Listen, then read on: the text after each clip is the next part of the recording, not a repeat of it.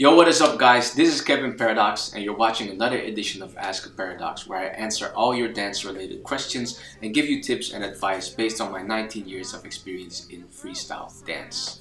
For this topic we are going to focus on everything that is wrong with your dance, which is absolutely nothing. So let's get into it. Throughout the years, I've had a lot of students or people who are just uh, looking at my dance video asking me for advice on their dance.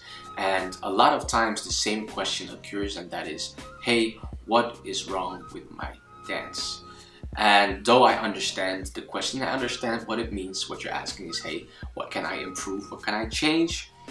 Um, for me, the biggest and most important thing in dance is mindset. In any art form, it's all about mindset right now we live in a very social media driven uh, culture, a very social media driven time. And because of that, I feel like uh, artists are more focused, especially young artists and new upcoming artists are more focused on doing something right as opposed to doing something that is true to yourself. And what I mean by that is that we have so many examples of other artists, of other people that we follow, that we see, that we maybe look up to online, that it's really difficult to find a new way or our own way of doing things and it's easier to rather just follow along with what we have seen already because that apparently works. You know what I'm saying? So in this video, I want to address the importance of a healthy mindset inside of an artist, inside of dance, inside of any art form that we are doing, and actually inside of life. So this video might seem very cliche and very cheesy, but it's so important and I can't stress it enough that the way we think, the way our mindset is, is the way we are going to express ourselves. And that if I set up my mindset in the right way, I give my body, as a dancer, my body the freedom to, I guess, learn important things about myself. If I am not here to make mistakes, I am not here to grow. You know, and that's so cheesy and so overused, but then also not used at all. I myself come from a battle scene where um, it's all about beating your opponent, being quote unquote better than your opponent, and showing the audience and showing the uh, judges that I am the one who is deserving of this win, which is a lot of fun, but the way I speak to you and the way I say it, you already notice that it's also a bit crooked because in this, it is really hard to express yourself honestly. It is as if I have to fake my way to the top every time. Maybe I don't have a good day. Maybe I don't feel like battling. Then I just don't participate. I know, but this is the platform that I have. These are my people. This is the only place where I know to express myself and am able to connect with people. Besides that, of course, we have the ciphers and we can jam and whatever. But I have a story to tell and I want to tell it. However, if my story is not based on wanting to beat the other person, now it becomes a very difficult situation. I know that I can't beat you. I'm not good enough yet to beat you and maybe I really don't care about it, but I still want to dance. And in that moment, the mindset and understanding why you are there, why you are performing, why you are dancing and why you are sharing is extremely important because if you don't have a mindset for yourself, you're going to fall for the mindset of another. And that's just a waste of time, especially in art. Now later on in the video, I am going to talk about a few pointers that you could look for in your own dance to see where you could progress uh, in your dance. These are not only physical pointers, these are going to be different types of pointers that some people might overlook because dance, art, has more than just the movement, right? If it was just movement, it was kind of easy because all I have to do is practice movement. But there's a reason why I look different than another person does. And figuring out those reasons and the reason to why your body moves in this way might eventually help you to find ways to, I guess, progress as a dancer other than having to learn new moves. So look out for that, but first, let's talk about this mindset. Now, I myself am far from perfect and I am struggling with my mindset day in, day out because of my health, because of uh, my status, uh, multiple things that are difficult to deal with and I can sometimes get lost in. And sometimes I have to check myself. So it's not something that I want to tell you from a higher place to a lower place like, oh, yo, you gotta do this to become better. Not at all. I'm actually just explaining you my personal experience And that through changing my mindset in my experience, I started to notice that I enjoyed myself more. My dance became more real, my dance became more vibrant, and I gave myself the room to actually improve way better than I would have done if I would have stuck to a certain mindset that blocks me from actually growing. And that mindset is that you have to be good in order to express yourself. That's crazy. That's absolutely crazy. For me, the first part of dance, the first part of artistic expression in any form is about expressing yourself the way you are, not the way you want to be. The way you want to be will come eventually, but the way you are right now is who you are. You might be sad, angry, happy, uh, shy, or very outspoken. Whatever it is, you're gonna have to express that person as opposed to trying to um, act out a different person that you are not right now. You can do that, of course. Sometimes in a battle, that's what needed, and it's fun. It's called a character. But when it comes to actually progressing as a human being, as a person inside of your art form, in my opinion, it's really important to connect those dots, to connect your personal life with your dance. And that means that it's okay to sometimes have shitty days. It's okay to have a dancer's block. It's okay to not be able to do certain things and be better at other things. That's human. That's how you should be. And that's also what makes it extremely beautiful. If dance was a huge painting, I don't want to see red painted all over the painting. I want to see the different colors, the different bigger spots, smaller spots, and so on. You are one of those spots, and I want to see you. Who cares what I want? We want to see you. The culture wants to see you. You eventually should want to see you. So how? How do we get off of this negative mindset of thinking that we always have to be better uh, in order to be happy? Because that's kind of what it's about, right? There's a few things that I uh, not use myself, but a few things that I always keep in mind that sort of help me to keep myself in check there where it's needed. One of the things is that I take a lot of inspiration from other art forms and I look at a lot of other art uh, because they created the path already, you know? There are art forms that are way older than hip hop, for instance, that have been going through the same things we have been going through way longer than us.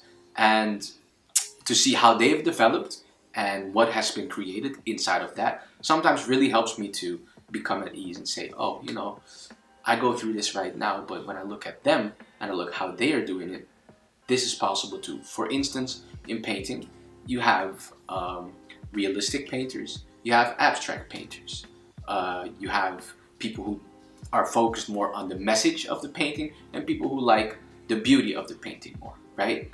And for me, it was really interesting to see that there's a place for everybody, a place and time. For instance, I remember that Picasso uh, changed the way he was painting throughout his life, you know?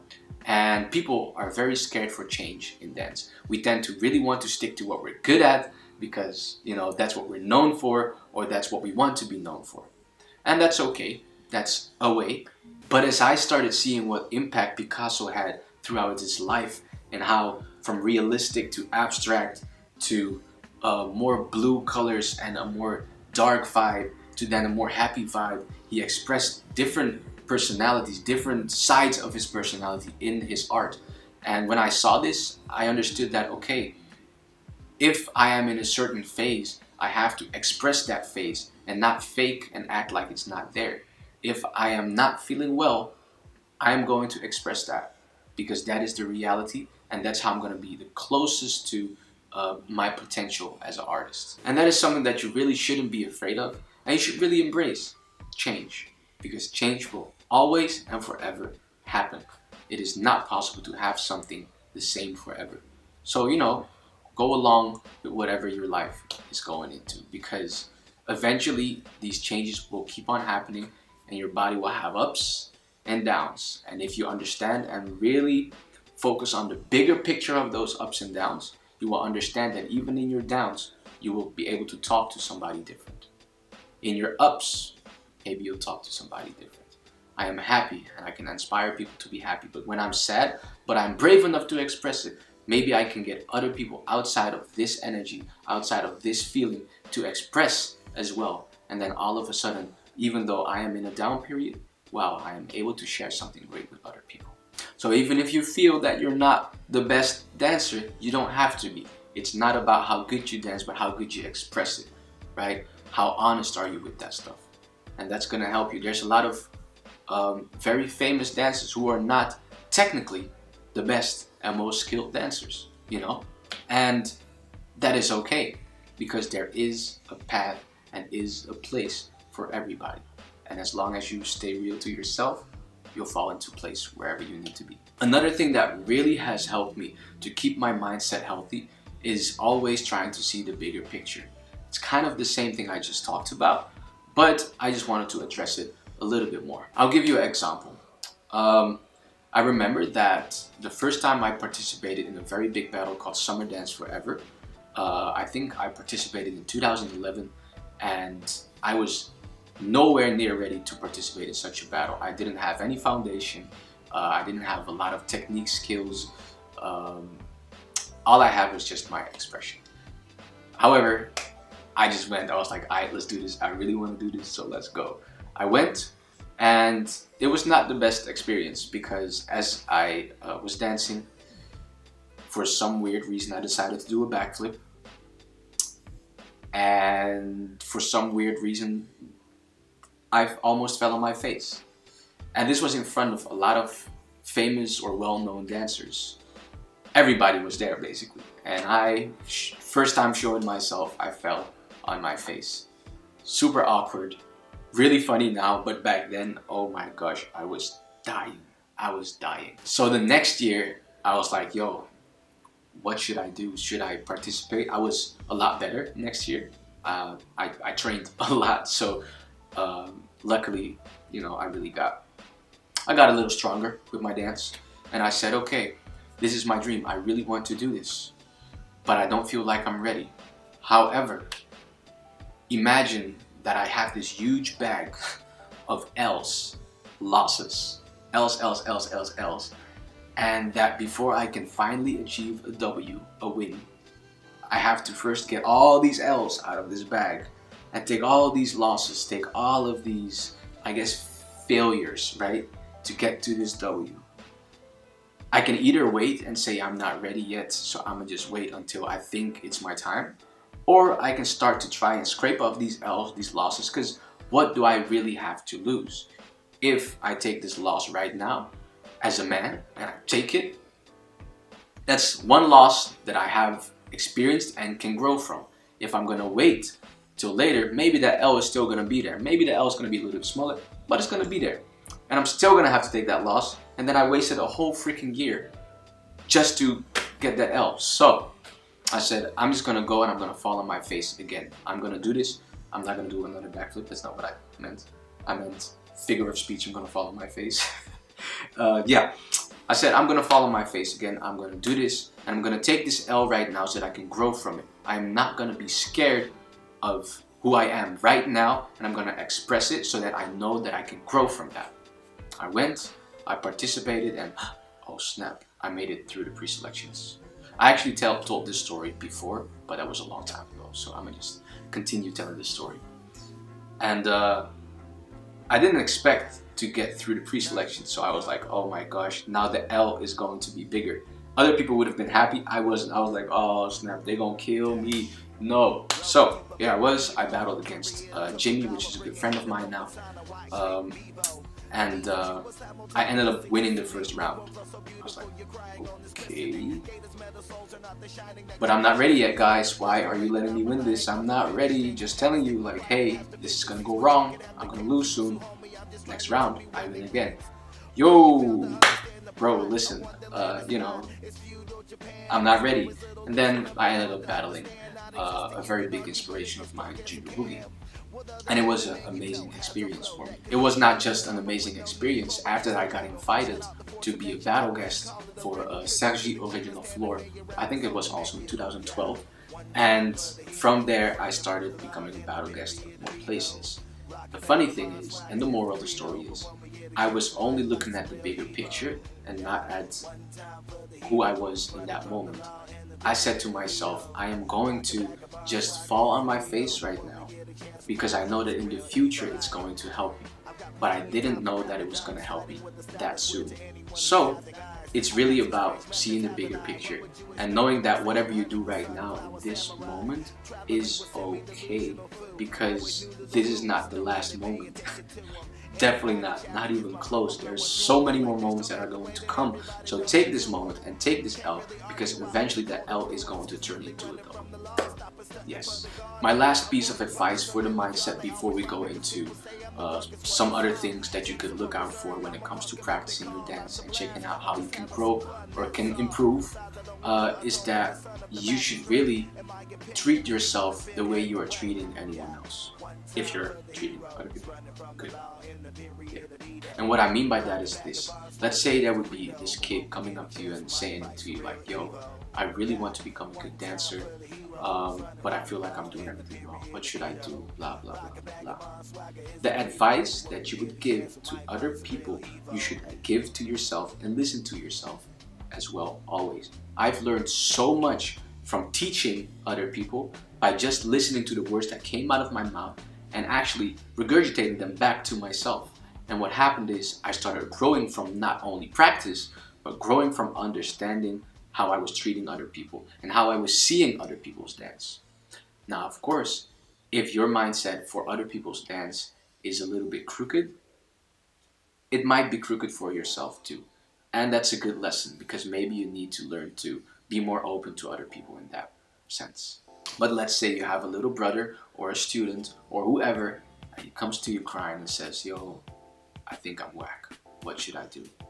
Whatever heartfelt advice you would give to that person is the same heartfelt advice and the same love you should give to yourself as an artist.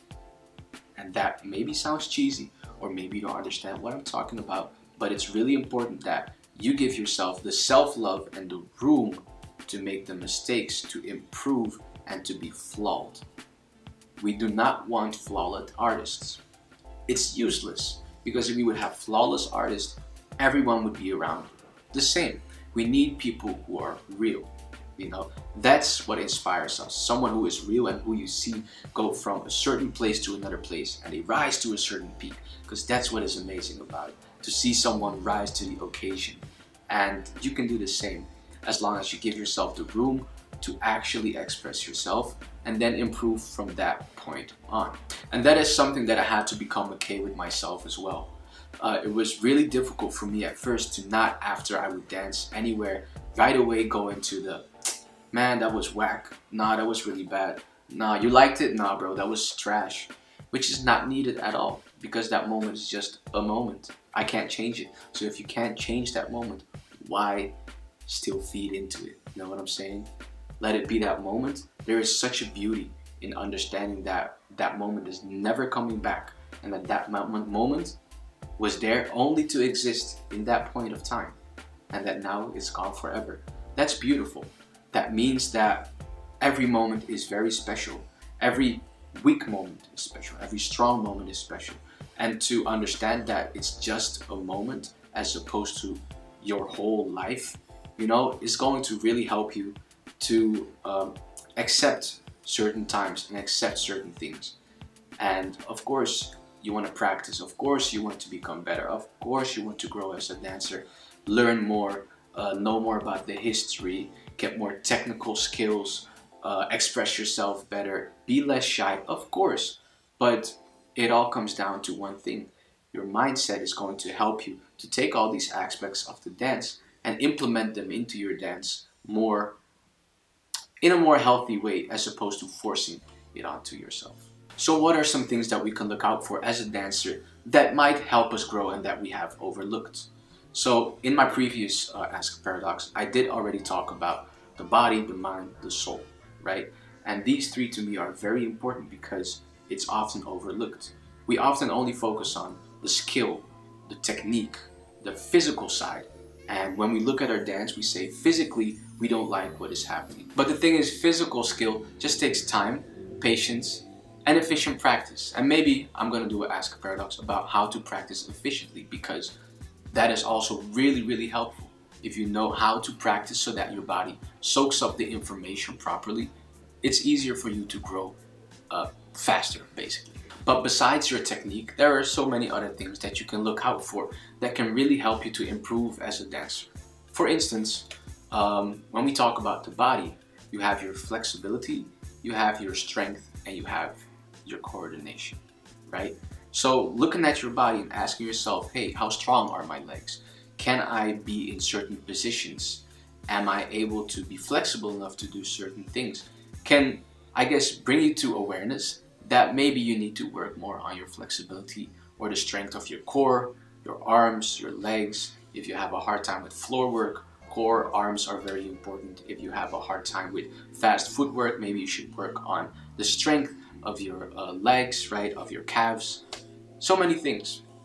Uh, and that, those are things that you don't, not everybody talks about because we only focus on the dancing part, which is really important. But hey, having a physical body that is ready for whatever you want to accomplish that can help you to get to the next level is very useful. Another thing that you could look out for is the mindset, like I said, right? Is my mindset helping me forward? Is it healthy for me to work this way or think this way? Am I um, aware of how I'm practicing? How is my mind working when I practice and do the movements? Is it with me? Uh, am I lost in whatever I am doing? Um, am I conscious of the movement that is happening? There's so many things, right? Actually, coordination also has a lot to do with the mindset. Uh, muscle memory, which is muscle memory. So, you know, it's, it's linked and that is really important as well. If there is a disconnection between your body and your mind and you are not focused, for instance, on the movement that is happening, yeah, of course it's going to take a long time for you to get better because your body is just moving but you're not soaking up the feelings of the movement. You're not soaking up all that information that is happening. You're not regurgitating the movement that comes in inside of your mind and then bringing it back into the body so to accomplish a different way of doing it. And that is really important or at least really useful. And then with the soul, the emotional expression, the feeling, right? I did talk about this already, but you know, it's always good to re-talk about it, to go over it again, right? With the soul, it's it's sometimes people tend to shove away their real emotions in dance, right? Sometimes uh, we are overwhelmed by our emotions, right? So some people are low on emotional expression and other people are very high on emotional expression. Because of that, maybe the physical body is not capable of sharing, you know, those moments through the body. And then maybe I need to focus more on my technique so that I can actually express my emotion better through technique.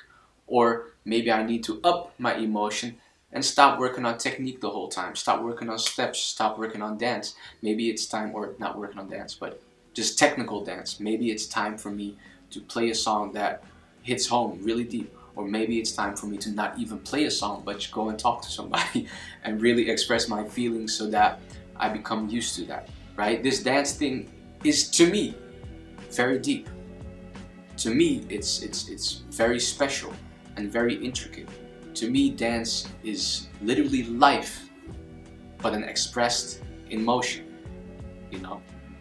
And that means that there is a lot to it. It's not as simple as one, two, three, in my personal opinion. Of course, for some people it is, and that's okay, because just like in life, you have different types of people. And to figure out how your life fits into your dance is really going to help you to progress not technically always but especially as a human being inside of art. And that's literally what it's all about. So hopefully these pointers help you and maybe make you see some re-see something that you have forgotten or see something in a different light that you haven't thought of yet. Um, I'm just here to give my I guess, perspective and my experience through dance and hopefully that is helping you guys. And if that's the case, it would be really awesome for you guys to like this video and just let me know in the comments what you think. Uh, are there things that you have been going through yourself that uh, I shed a certain light on? Or maybe you have another question.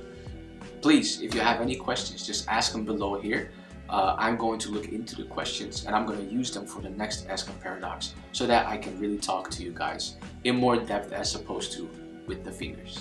With that said, I really hope that this video helped you guys out. I want to thank you for watching the whole video all the way to the end. Um, I'm posting a lot of dance videos right now because I've been traveling for the past two months. So don't forget to put on that notification bell because otherwise you might miss the next videos that I'm going to post. I'll see you guys in the next video and I really want to thank you. Peace out.